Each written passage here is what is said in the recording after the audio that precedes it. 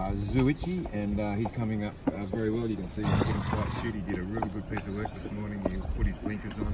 He was very competitive. It's probably as good as I've seen him, and uh, I think he's uh, very close to getting ready to get to the races. Um, looking at probably starting at 1400, I'm suggesting he probably needs to get to 2000, and you'll get there pretty quick if he, uh, if he runs a reasonable race first up, and um, he can hold his own at 1400 first up. So that'll be in the next 10 days or so and there's a couple of options that we'll look at and get him going.